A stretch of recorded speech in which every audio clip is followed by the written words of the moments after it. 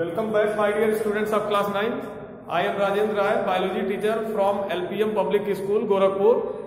And I am producing this digital video for the, that is for the learning of the different types of diseases. My dear students, in the previous video you have learned about the viral diseases like polio, AIDS, etc.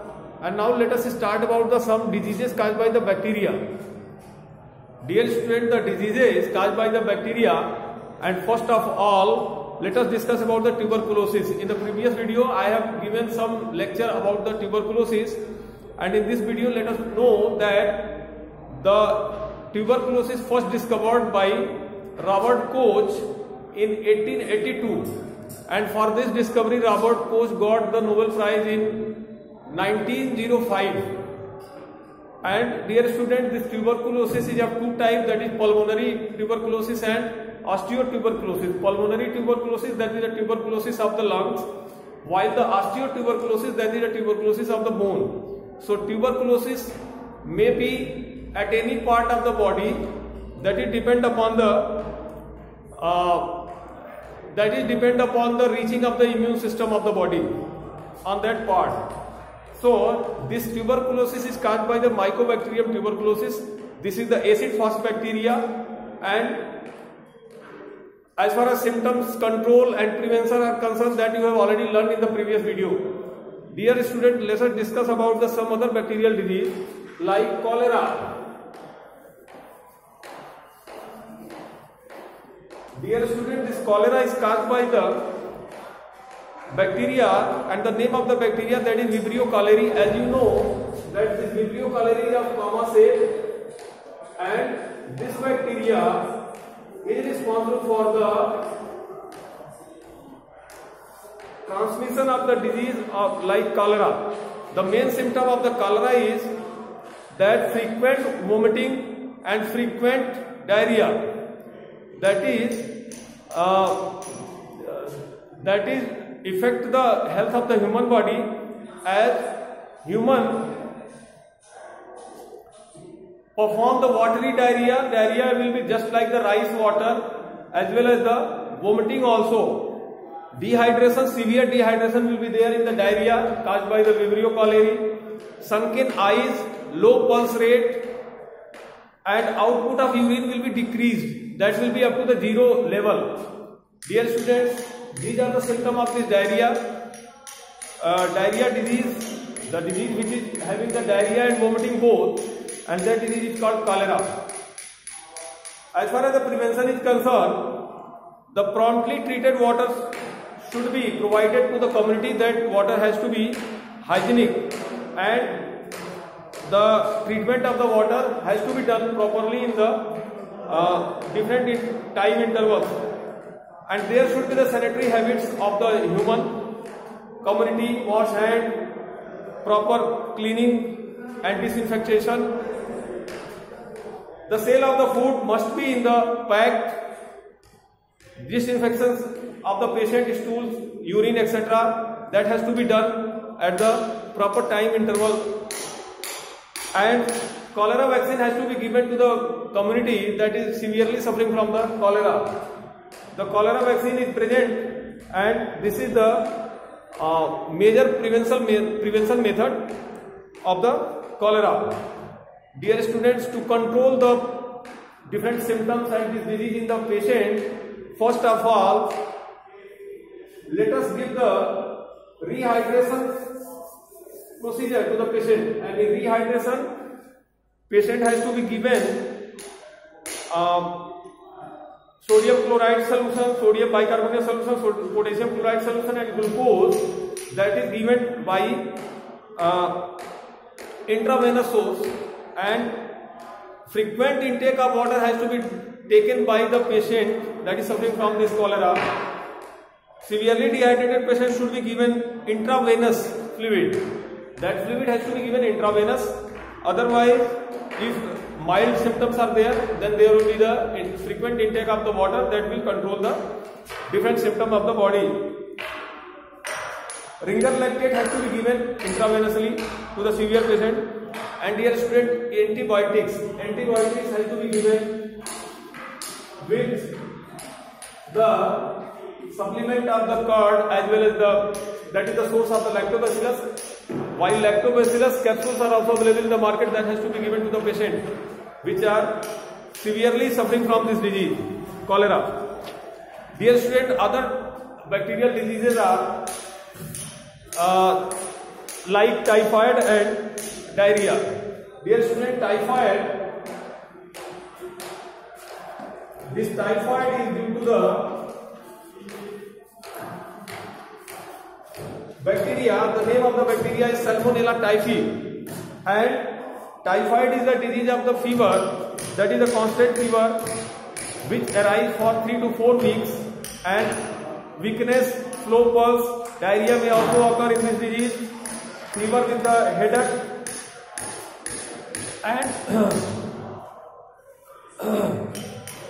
uh, that is especially uh, in the afternoon session. So dear students, you have to, you have to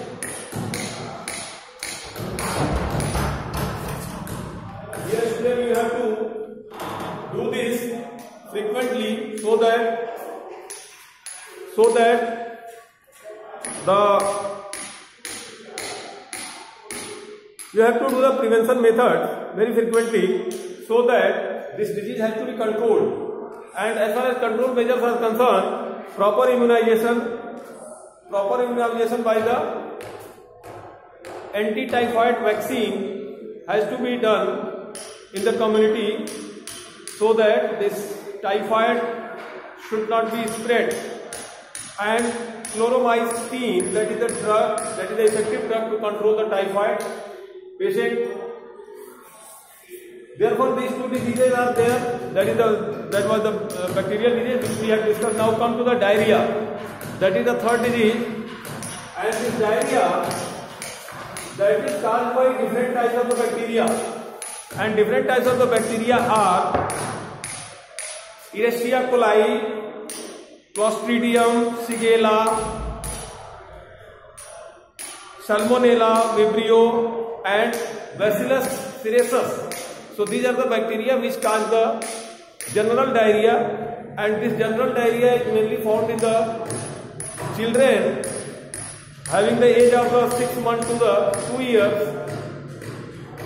This diarrhea is very frequent and due to the poverty, due to the malnutrition, due to the immunodeficiency and due to the reduced gastric acidity, this diarrhea is very effective in that type of the community.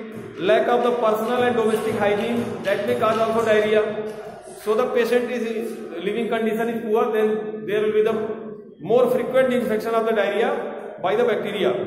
The mode of the transmission of the diarrhea is that is the these are the most pathogenic organism and they transmitted by the water food and unclean fingers etc. So this is the human to human transfer disease as well as the, this can be transmitted by the water and unhygienic food also. Dear students, as far as this diarrhea is concerned, diarrhea this diarrhea is having so many symptoms like loose motions that occur frequently, more frequently, accompanied by the vomiting also. So the symptoms of the uh, other disease like that is the bacterial disease cholera may arise in the mixed bacterial infection. Sudden onset of the loose motion can cause the by an infection like bowel syndrome. Bowel syndrome is the that is the irritation in the gastric canal, irritation in the alimentary canal of the human, and due to the so uh, frequent irritation, there may be the dysentery also. So diarrhea and dysentery that is a mixed infection caused by the mixed type of bacteria, and this disease has to be prevented by the uh, Specifically, by the rehydrating the patient. So first of all, that is prevention by the rehydration of the patient. That is the major control measure of this disease in the society or in at the personal level. Dear student, during diarrhea, normal food intake is essential. Patient should take the normal food that is very essential during diarrhea otherwise the patient may go into coma dear student in case of diarrhea alone antibiotics that is neomycin and purgatives coramine etc these type of drugs have to be given to the patient so that that patient can be cured as far as control of this disease is concerned dear student the major to reduce the transmission of this disease is improve water supply Improved unhygienic water supply. Improved hygienic water supply. Unhygienic conditions has to be removed from the society. And washing of hands in the proper way before taking the food, that is very essential. Husk of Isabgol seed has to be given to the patient that is suffering from the diarrhea condition, diarrhea and dysentery condition. Husk, Isabgol husk that provide the fiber to the body, so that this diarrhea has to be checked properly.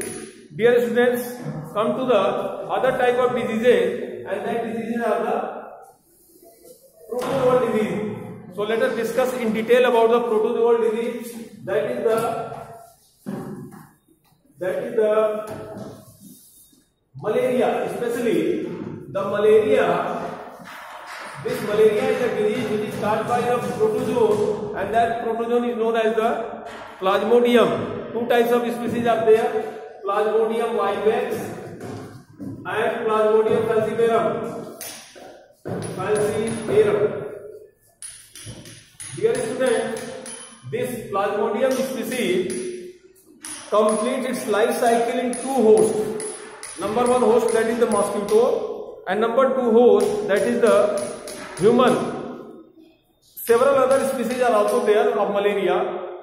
Uh, this Plasmodium, that is the plasmodium malaria plasmodium ovale but dear student ऐसा है general malaria is concern these two species are are very common to create the disease like malaria and there is a national malaria control programme and national malaria education programme that is started in 1953 and in 1958 fifty eight respectively So these two years are known for the starting the uh, disease uh, control program that is the uh, malaria control program. Dear students, in this disease, dear students, in this disease,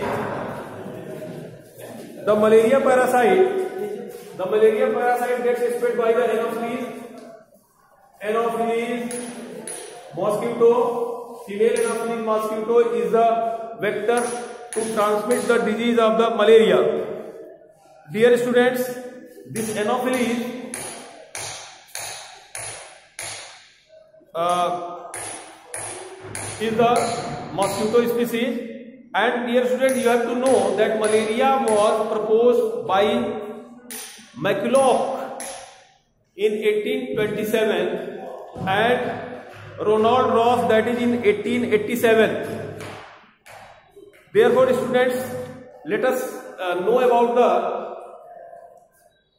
malaria uh, transmission in human. There is the there is the disease that is the uh, especially caused by the bite of the mosquito to human and the symptoms are that Extreme cold shivering. The symptoms of malaria is the extreme cold shivering in the human body that is uh, appearing with the fever and pain, and temperature rises up to 106 degree Fahrenheit, high temperature, and patient feel burning hot. Patient feel just like burning hot, intense headache, faster respiration and heartbeat. Faster heartbeat, faster respiration, that is the symptom of the malaria. Fever later comes down with the profuse sweating. Later on, fever comes down with the profuse sweating. This occurs either daily at the particular time. This is a periodic sweating and periodic rising the temperature in the patient. My dear students, there are two uh, stages in the life cycle of this malaria parasite and these stages are the trophozoite stage and sporozoite stage. And these two stages get completed into the human as well as the mosquito. Let us talk about the prevention of this disease. Dear students, indoor residual spraying of DDT, regular spraying of DDT and other insecticides, BSC or malaria twice in a year that is effective controlling of the mosquito. chloroquine kills the malaria parasite my dear students this chloroquine kills chloroquine chloroquine is a drug chloroquine that is a drug has to be given to the malaria patients other drugs like quinine sulfate that is a very old drug that that is derived from the uh, plant cinchona in early uh, time cinchona plant was the major provider of the malaria medicine and that uh, medicine was the chloroquinine uh, sulfate. This chloroquine has to be given. This is the modern drug. This is the modern allopathic drug. And larvicides has to be given killing the larva of the mosquito the, that is standing in water, the kerosene iron that, that is spraying in the water also. But if malaria is in the human, then the chloroquine has to be given for a long time for a period of 3 to 4 weeks so that this patient has to be cured properly. As far as larval side feces, larval, larval sidal feces has to be spread throughout the pond, lake and other places where water is logging. Dear students, these are the uh, control measures of the malaria parasite, malaria vector as well as the malaria parasite and This is the worldwide disease, especially in India. There is a national program to control the malaria. My dear student, now come to the come to the principle of treatment of the disease.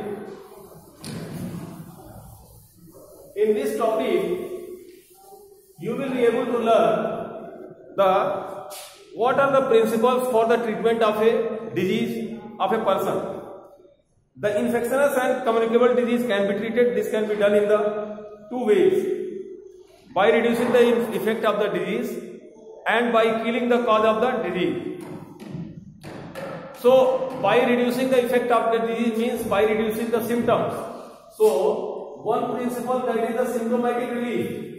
Symptomatic relief that has to be given to the patient and this patient get symptomatic relief by getting some drugs some drugs like if fever is there then paracetamol has to be given if headache is there then analgesic has to be given so these drugs provide the symptomatic relief and second is by killing the cause of the disease disease causing causing microbes are second bactericidal